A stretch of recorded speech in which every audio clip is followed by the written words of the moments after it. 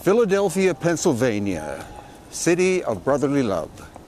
So, what the hell am I doing here?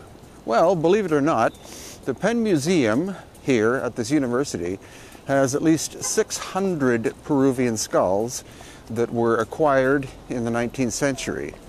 And from photos on the internet, some clearly appear to be extraordinarily elongated. So, we're going to see if we can get access to the collection and examine these interesting skulls.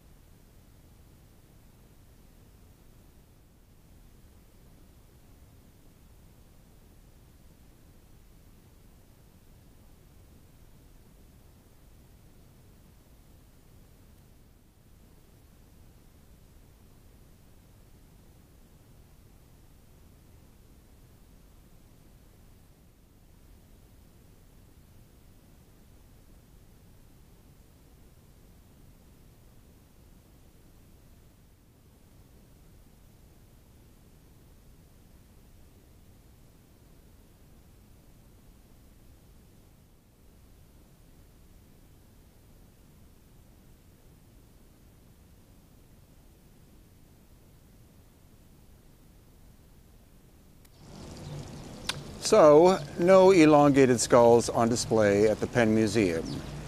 And actually, only one Peruvian skull, and it was just a normal one. So, I'll let Hugh Newman take over after this, and you'll see his exploration in the warehouse um, at the Penn Museum from a, a few years back, where he filmed two very intriguing, not only Peruvian elongated skulls, but likely Paracas culture skulls, and likely they were found at the only place where the extreme elongated skulls are found, and that's at the graveyard called Chongos near Pisco, Peru. So we're with, uh, what's your full name, if you don't mind? Paul Mitchell. Paul Mitchell, with Paul Mitchell in the Pennsylvania Museum, and we found this very small, but incredibly elongated skull. Uh, and wh- where's this from? Uh, this is Peruvian. Any idea what area? No, um, what I can do is if you're interested, I will uh, forward you all the records. Uh, this is one of the Morton, uh, this is a skull from the Morton Cranial Collection. This was. Uh, I mean, that must be a young child, mustn't it? oh, look, looking at the teeth, it's about uh, uh, four or five. And uh, I've been told by my advisor, who's the curator of physical anthropology, that uh, this is an individual who, uh, by dint of this extreme cranial deformation, was unlikely to have had sufficient oxygen, you know, sufficient, you know, wasn't getting enough blood or oxygen to the brain at the most posterior, posterior parts, furthest back parts of the head.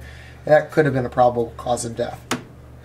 Less extreme, obviously, cranial deformations aren't going to cause that particular physiological conundrum.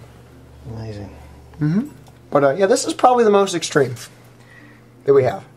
We have quite a few other ones that are Is there any more just in this uh, drawer? No, they got some. Uh, well, in this drawer, that's an interesting question. Uh, this, so this is our this is our best one, and uh, just so you know, I'm going to give you a website that you can go to, and the one you want to search for. All right, it's 1681. I'll remember that. 1681. But um, let's see if there's anything else interesting around.